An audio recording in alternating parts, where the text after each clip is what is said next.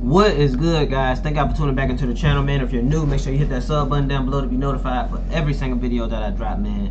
Excuse that noise. They working on the roof this morning, man. But, as y'all can see by the title, seven types of people who will not be saved.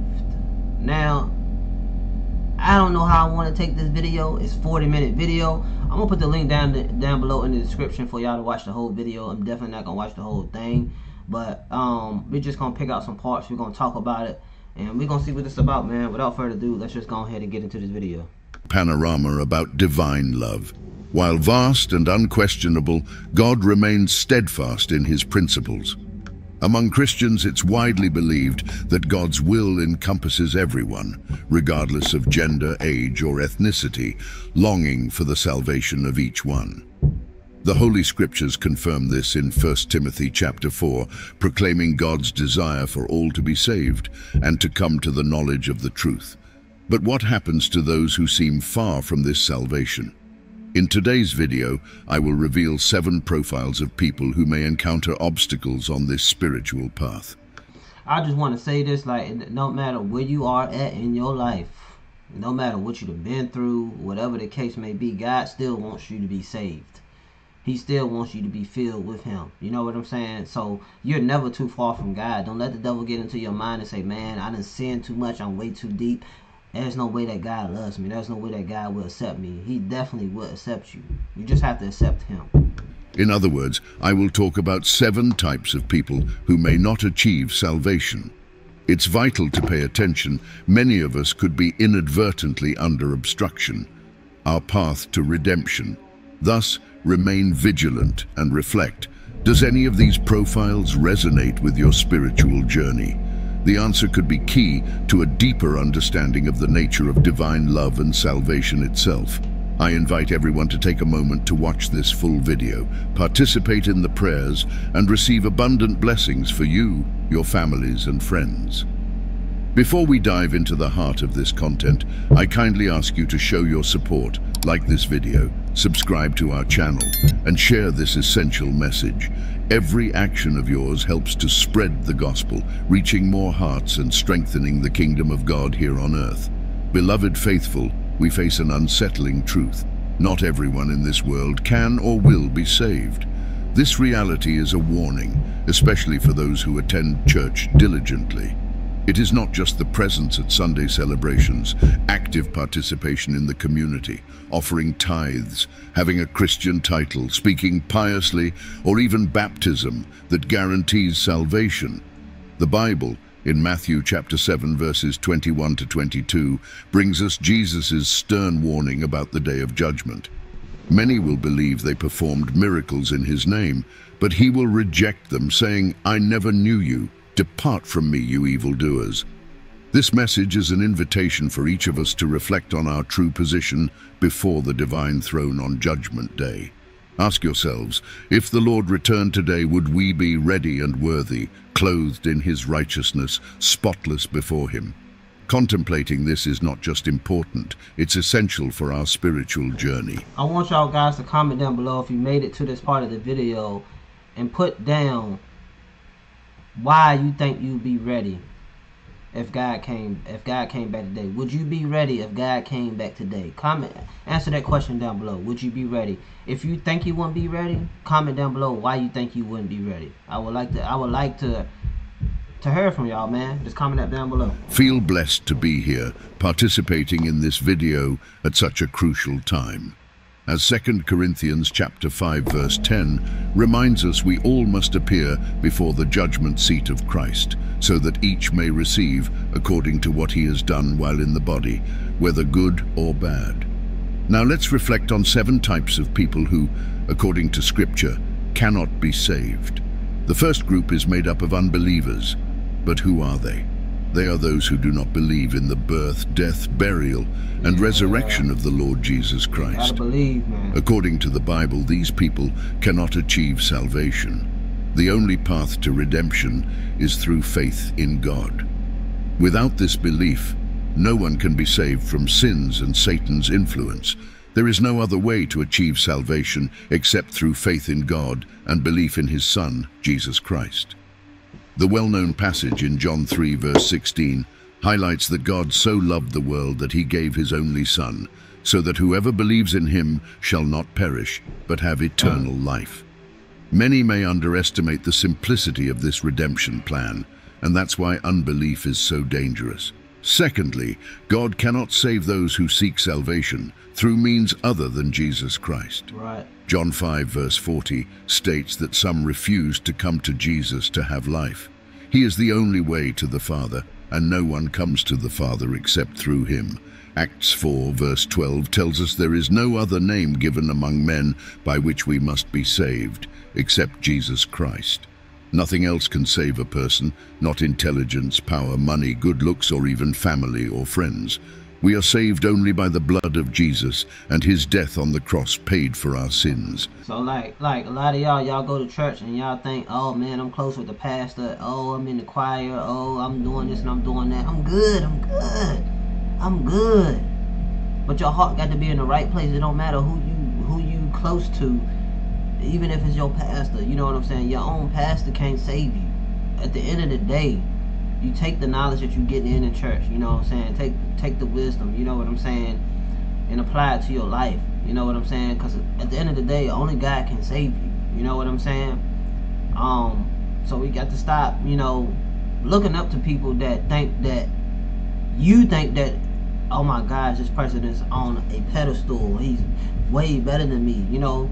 But I'm gonna let y'all know, man, that you know, God, you know, He puts a calling on our life, and we got to take that serious, man. You know, far as being a pastor, yeah, they have influence, uh, a lot of influence, but we got to make sure that we never trust man, but definitely trust God's message, man. Make sure we in His Word. Make sure we hearing the right thing, whatever the case may be.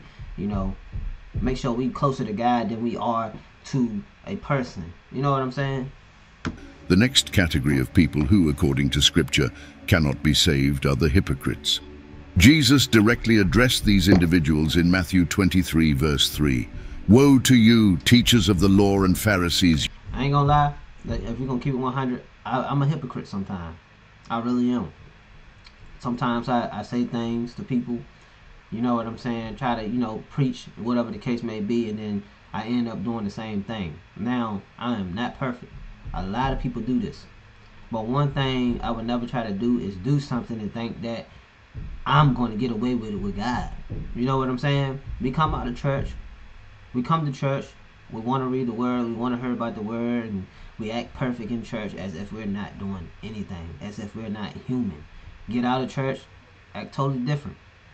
Of course, we're not perfect. But if your main goal is to put on a fake image for church, come out of church and be back to the person you are, you probably can fool man, but you can never fool God. So let's make sure that we are not being hypocrites when it comes to God's word, when it comes to treating people right, you know what I'm saying? And just make sure that we are trying to do the right thing. Of course, you know what I'm saying? We're going to slip up. We're going to make mistakes, and, and that's definitely okay, but let's correct those. You hypocrites, you shut the kingdom of heaven in people's faces. You yourselves do not enter, nor will you let those enter who are trying to.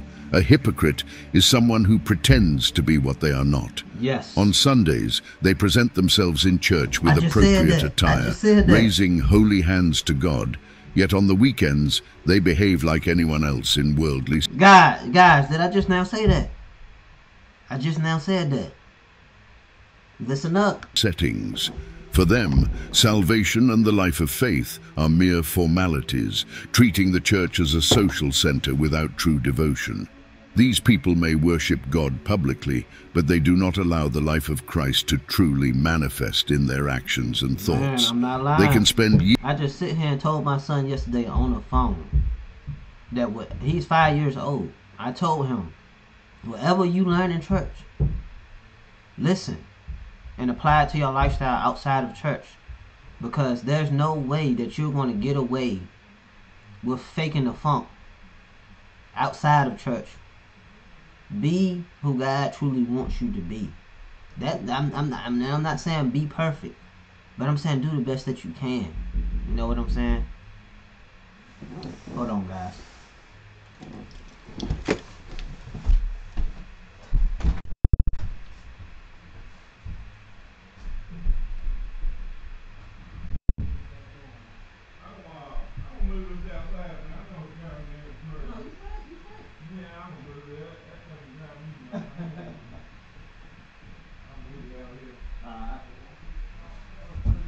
No problem. I'm back, guys. Let's get back into the video. Years in the church, but do not show fruits that prove the faith they profess. They are at the kingdom's door, but do not enter and even prevent others from entering. In the Gospel of Luke, chapter 18, verses 9 to 14, we find the story of a Pharisee who considered himself righteous and looked down on others. In contrast, Jesus praised the humble attitude of the tax collector who, aware of his sins, Oh, there's so much topics we can speak on. A lot of us, we go to church and we act like we more holy than thou. We gotta humble ourselves, man, because we're not going to church to be better than anybody else. We're not going to church to get on another level than somebody else. We're not going to church and getting closer to God to look down on other people. The main purpose, man, in this world is to love, uplift, elevate, walk towards God, bring other people up to know God, raise our children up to know God. It's a Bible in a verse. I can't uh, say it word from word, but I know as a father, I'm supposed to raise my son in the right way to know God. That way, as he gets older, he will have. I'm plant, planting that seed in him right now, so that he can go forth and do miracles, man. You know what I'm saying? If, if I leave, I want to make sure that that plant, that seed is planted in him. You know what I'm saying? And to be humble. Not to act like we are more better than anybody else just because we in our Bible more, we know God more, whatever the case may be. Because at the end of the day, we all, we all on the same level. It don't matter how much money or what status you got, we all on the same level. pleaded for God's mercy. This narrative illustrates the biblical warning against self-justification. In Ephesians chapter 2 verses 8 and 9, we are reminded that salvation comes by grace, through faith, and it is not something we can achieve or boast about. The fifth category of people who cannot be saved are the apostates. 2 Peter 2, verses 20 to 22, speaks clearly about them, saying if anyone, after knowing our Lord and Saviour Jesus Christ, gets involved again with the world and is overcome, their final condition is worse than the first. This underscores the seriousness of turning away from the path of truth after having known it. These individuals find themselves in a worse situation in the end than at the beginning. It would have been better for them not to have known the way of righteousness than after knowing it to turn their backs on the sacred command that was delivered to them. It's as Proverbs describes, the dog returns to its vomit and the washed pig to wallowing in the mud.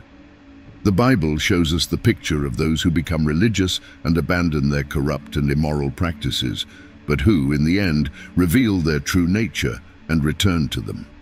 A washed pig remains a pig.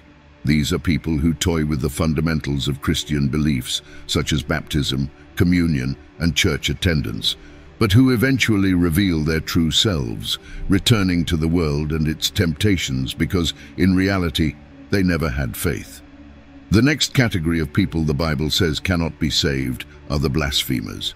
Jesus addresses this topic in Matthew chapter 12 verses 31 and 32, where he warns that every kind of sin and blasphemy can be forgiven, except for blasphemy against the Holy Spirit. Whoever speaks against the Holy Spirit will not be forgiven, neither in this age nor in the coming one. Some people blaspheme against God, mocking the Holy Spirit and belittling its manifestation. This is considered the unforgivable sin. Therefore, it is crucial to be careful about what is said about the Holy Spirit. Avoid jokes, associations, or groups that speak disparagingly about the movement of God's Spirit, as this can lead to the commission of this unforgivable sin. The last group of people that, according to the scriptures, God cannot save are those who have already died. It is common for many people to seek pastors and religious leaders asking for prayers during the funeral of a loved one. However, it is important to understand that no prayer can change a person's destiny after their death. Salvation is only possible while alive. After death, it becomes completely unreachable. The idea of a purgatory, as some believe, is not supported by the truth of God's word.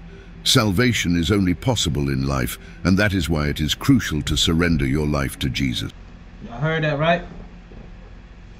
Life is too short. I make sure every day that I ask God for forgiveness. Lord, repent. I repent of my sins, Lord. Forgive me for the for the sins that I don't know of, man. Life is so short, man. I always think about like if I died today, would I go to heaven? That's something to think about, guys. That's something to think about, guys. If y'all made it all the way to the end of this video, say, let's get ready. Comment down below, let's get ready. I know when somebody has watched the whole video because it has the time where somebody watches the whole video. Some people don't watch the whole video. And you just skip to the end of the video and put what I say. But I'm going to see the timestamp of when you watch the whole video. And if you don't, that's fine. Because these videos are to inspire, uplift, and motivate. You know what I'm saying? It's not about popularity. It's not about being the biggest YouTuber, whatever the case may be. I truly watch these videos to learn and to educate other people. That's one of my biggest um, dreams, man, is to encourage and uplift people. You know what I'm saying? And hopefully y'all learn something from this. And um, the end of my videos, always say stay inspired, stay motivated, stay grinding. Comment down below. Let's get ready. I'm out of here. Peace.